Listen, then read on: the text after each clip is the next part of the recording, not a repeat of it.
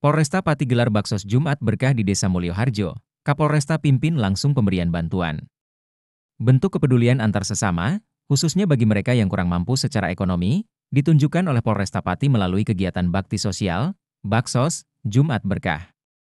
Kegiatan ini dipimpin langsung oleh Kapolresta Pati, Kombes Pol Andika Bayu Adhitama, dengan memberikan bantuan sembako kepada warga Desa Mulyoharjo, Kecamatan Pati, Kabupaten Pati.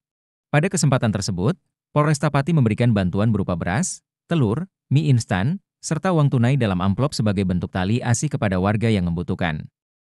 Dengan adanya kegiatan ini, diharapkan semakin banyak warga yang mendapatkan bantuan dan merasakan dampak positif dari program-program kepolisian yang tidak hanya fokus pada keamanan, tetapi juga kesejahteraan masyarakat, diujar Kapolresta Kombespol Andhika Bayu Adhitama.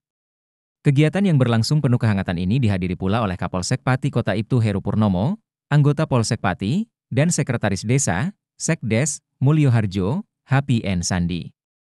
Dalam sambutannya, Kapolresta Pati menyampaikan bahwa program Jumat Berkah ini dilaksanakan secara rutin sebagai wujud nyata kepolisian dalam menjaga hubungan baik dan harmonis dengan masyarakat, sekaligus menjalankan tanggung jawab sosialnya.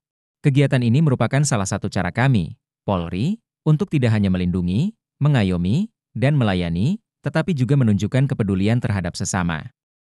Semoga kegiatan ini bisa terus berlanjut dan memberikan manfaat bagi masyarakat yang membutuhkan, tambah Kapolresta.